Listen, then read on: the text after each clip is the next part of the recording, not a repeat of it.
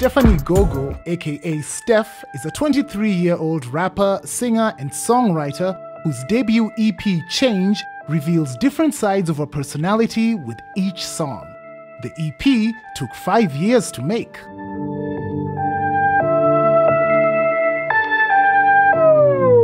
I like the fact that we're so bright and we're in such a bright place. I Like, love it. It makes sense, right? Makes so much sense. Actually, Steph, I describe you as a garden salad Why a garden salad? because Yeah. you're, you're fresh, Okay. more or less green in the game, Oh. and you're colorful. I mean, look, look, look at all this color, and Okay, okay. you're also full of flavor. Thank you. Mm-hmm. There's so many sides to you. Thank you. That's the thing. So, let's just start this salad from the very top and find out, like, where did Steph come from? Steph is from Nairobi. I'm a Nairobi baby. Um, I love the city, born and raised here for the most part. Done uni in Mauritius, so I lived on the island for about five years. Fancy. What was that like? Must have been like. Was it all, you know, drinking cocktails, chilling? no, no, no. That's what everyone thinks, and I thought the same until I landed. That's how they got you. Yeah, that's how they got me there. And I've been around music and art. Um, in general, I'm a creative in every sense of the word. I've worked in the fashion industry. It Um, Thank you. Yeah, and now music is something that's always been a part of my life growing up. Just my favorite mode of expression. Yeah. and you express it so well. In fact, let's talk about rap influences. I've, I listen to none of them. You Said they're doing a road, none of them youths be trapping. Said they want the smoke, none of them boy they're backing. If you're spitting like this, Yeah. you grew up listening to some hardcore type of hip hop. Yeah, it's evident in the music and the sound. I'm greatly influenced, inspired by black British culture and Caribbean mm. culture as well. That's what I grew up with, that's what, what my parents fed me, and a lot of my musical taste comes from my father. Ah. So all of the garage he played, grime, um, even just the R&B, I was listening to Craig David, I was listening to ah. Seal growing up. So that side of life is what I was accustomed to. I think my, my biggest influences, I'd say, is people like Chip um, from the UK. Yeah, Chipmunk. Yeah. thought He's cool. He's great. Chip, Little Kano, Bizzle. Little Bizzle, you know, like, yeah, just the whole black British, you know, UK rap squad. I think it's so Yeah. wild that, that your dad was playing that music like my dad was playing Rumbas and Lingalas. Oh, yeah. That's what you were, that's what's playing on the house when you get home. Yeah, that's that. My, the rumba was more of like my mom. She's a very like lingala type person, but I just I never gravitated that way for some reason. I don't know why, but yeah, I'm also just a daddy's girl. So yeah, I spent most of my time with him. So yeah, We love a daddy's girl, Mm. man. That's what's up. And so, you're young, Mm. okay, Mm-hmm. uh, and been in fashion, dabbling in the music, Yes. and even just from how you dress, I can tell that you're the sort of person who. Are you big on experimentation? Ah, Is that a thing? Super, super, super. I feel like I don't know. I, it's just the Gemini in me, I shall say. Like there's Ah, so many faces. There's so many different personalities. Mm. People are always meeting different versions of Steph. So I think experimenting allows me to do that. Like you Mm. can't box me in like one look, one sound, and stuff like that. And speaking of all those different sides of Steph, because um, there's a Steph did the Papaya Dreams. You know, that nice love rap songs, like. Yeah. mm, I dig it. Yeah. And then there was Steph who did Nairobi. We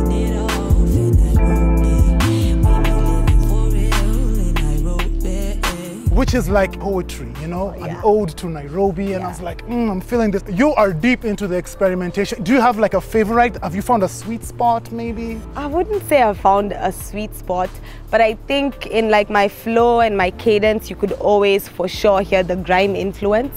It cuts across everything. In everything else that I do that is more like soft and like um, just vibey music, you hear a lot of like my island influences, so Caribbean music. Dancehall will always be like the foundation for that. Um, Afro swing as well, so there's like a bit of like Afro beats. Um, you match it with like the UK rap R&B vibe. Yeah. See what I was saying? Garden salad flavors all it. over. Toss it all up in there. When you drop the Mazishi freestyle, Yeah. I was like, is she trying to say something? Are you trying to tell all these cats that, hey, I can spit in Kiswahili, Yeah. in case you did not know. mazishi mazishi leo mtajua hude matishiki sicheki na nyinyi watoto nyi wote mnyonye matiti Was that the that motivation? you've hit it, you've hit the nail on the head. So I felt like a lot of people in Nairobi, anyone who'd encounter my music would be like, oh yeah, this British rapper, this Yeah. Jamaican girl, and I had to be like, wait, whoa, whoa, whoa, whoa, whoa.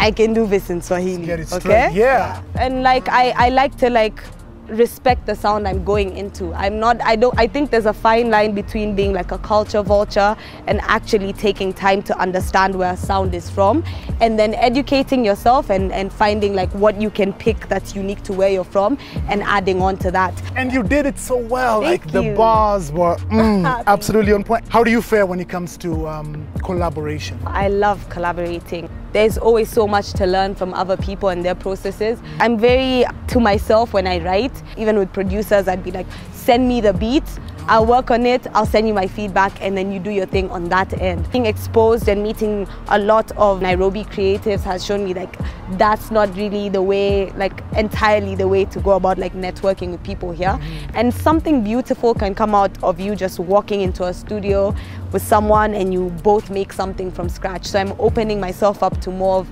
that type of collaboration. But I think even in like my debut project, my EP, you could see that there's a lot of features on there, different producers from different parts of the world. And speaking of things that you're doing, like you just dropped on demand. Yes. And here is the thing about on demand. Like we we know Steph the cheeky rapper. Mm-hmm. We know Steph the girl who can go hard with the Yeah. bars in Yeah. Kiswahili, by the way. like she can get poetic as well. You can be floetic. But then when it came to on demand, there is this this shall I say very sultry. Ah, very I like the use of that word, sultry. this yeah. this very um, va va voom side of Steph, and I was like, God damn! Yeah. Okay, so Yeah. like, and it's even in your voice. Yeah. Like I, it's really incredible how you can how you use your voice in different songs. Yeah. Like for for a song that's about love, you know, you'll have you'll have a very soft side to it, and this one, which is even bordering on lust, I would say. Yo, like it's eargasms. You know what I mean, Thank you. right? Oh, like what was me. what, what brought you to make that song? Um, I think I think it goes. My brand, everyone says my brand is unruly. I've never, I've always been cheeky. I always used to get in trouble in school, at home, and stuff like that. So I felt like it was time to, you know, go back and tap into that. But something that actually a lot of my new fans don't know is that when I started out rapping, I used to do like freestyles on Facebook, and I do them Wow. like fluently in patois. So this was just like for my old fans, it's like, oh, we're going back like to the Jamaican sound. But for the new fans, it's like, whoa, what's happening? So I, I, I like the reactions that I've gotten from it. Um, but yeah, I just wanted a song that makes you feel good, sensual, you know, like liberated. Yeah. Oh, it makes us feel a lot of things, including sensual and liberated. Yes, that that too. But uh, yo, big ups on that. Like everything in that project, I think it just came out so well. And I mean, I wonder whether this. Do you take this as a compliment when people say, you know, the stuff like you mentioned, like, oh, that that must be an artist from overseas, from wherever. Do you take that like, that's what's up, I mean, for me, or does it even matter? Yeah, I don't think it matters.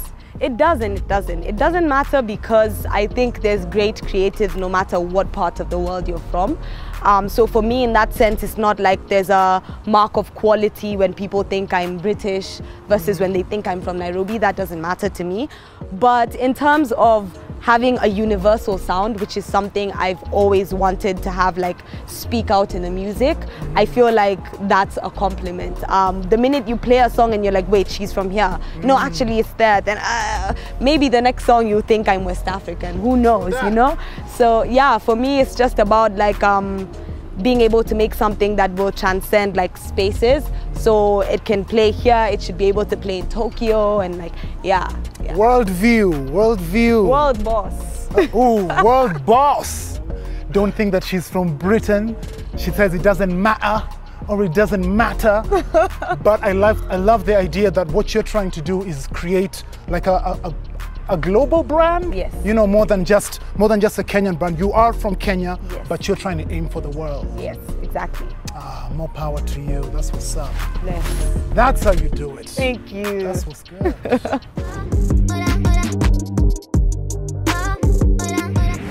One thing I appreciate about all the emerging Kenyan talents is the fact that they are humble enough to acknowledge their roots, yet bold enough to eye the world stage. Shout outs to Daudi for coming through for Metamorphosized, as well as Steph for bringing her grace, her poise, and her bars. Catch you on next week's episode of What's Good Africa Kenya Edition 3. We definitely have a whole lot more for you to see.